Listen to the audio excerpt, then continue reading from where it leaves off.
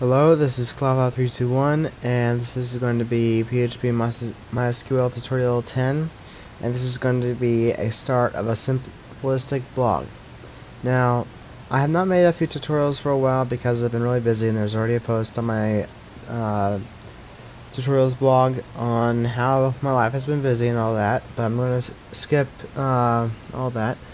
So, today uh, we're going to first create um, a basic blog in that we are going to have a user and a couple posts. Now this one's not going to go over the uh, the implementation of a login system with the blog, but rather just displaying the posts in the correct format.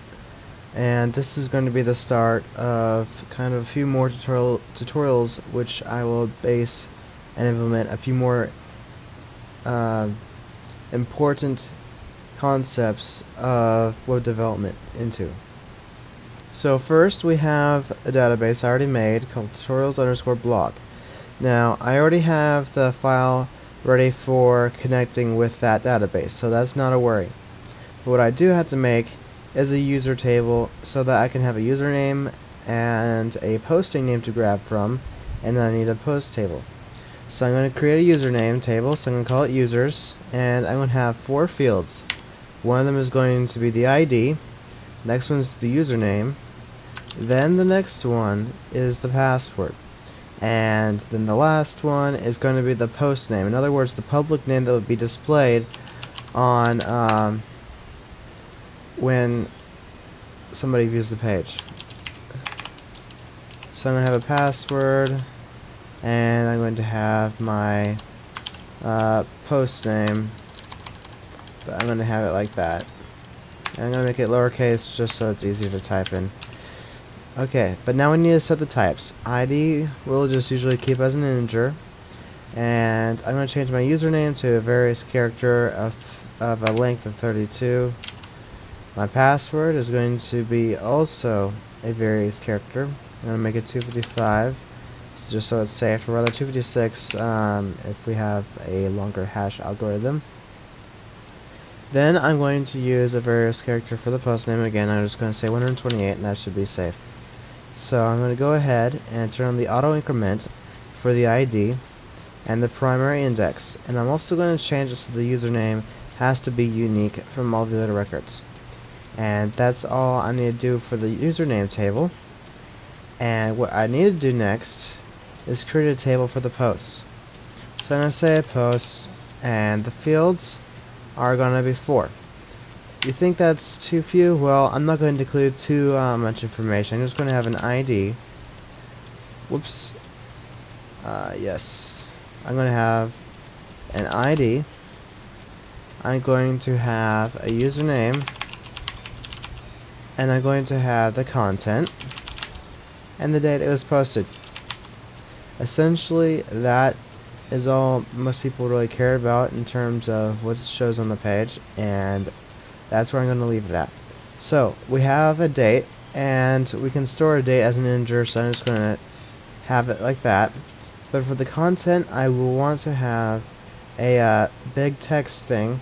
So I'm going to say long text here. And for the uh, username you think we want to have a various character but we're actually going to use an integer because what we're going to do is relate back to that username table so we can get um, both the username uh, and if the username for example changes in that username table or users table then it will change on all the posts that have the identification that point to that user.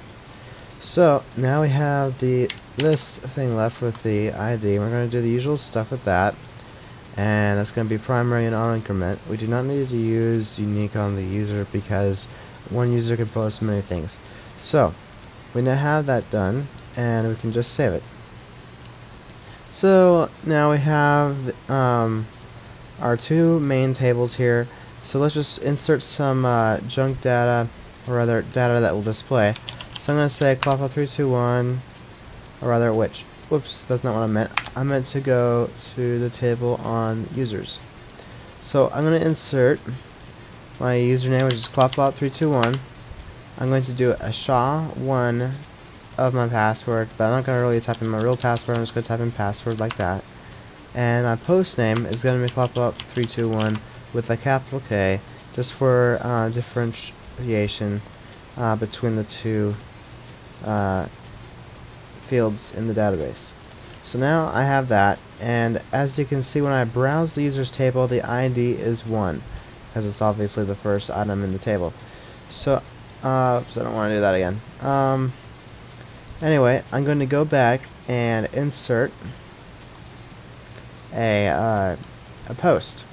But here, all I have to do is insert a 1 because that matches to the user Kloplop321 in the users table.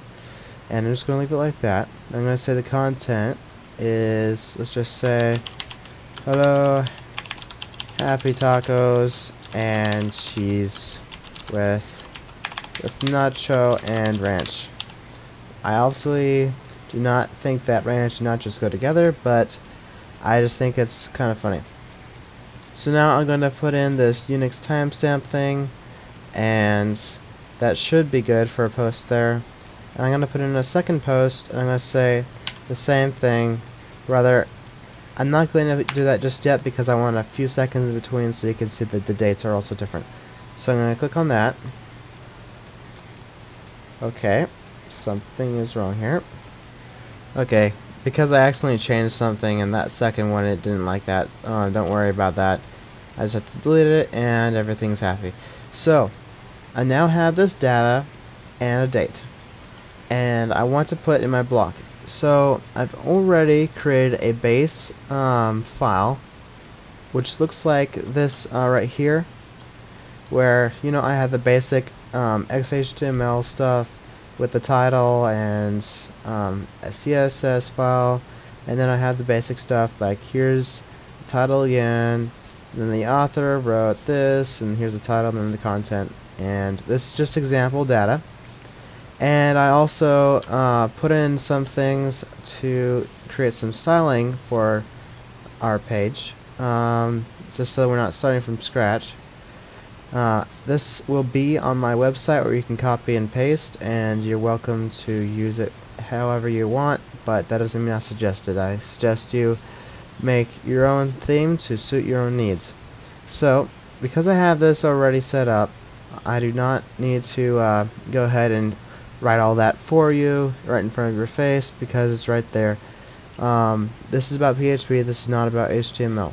So, I have, this is pretty much what it looks like uh, in terms of what the CSS does to the content.